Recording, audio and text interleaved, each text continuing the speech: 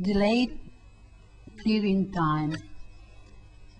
The cardias opens shortly, and it is possible to observe non-peristaltic contractions with proximal escape of the contrast medium.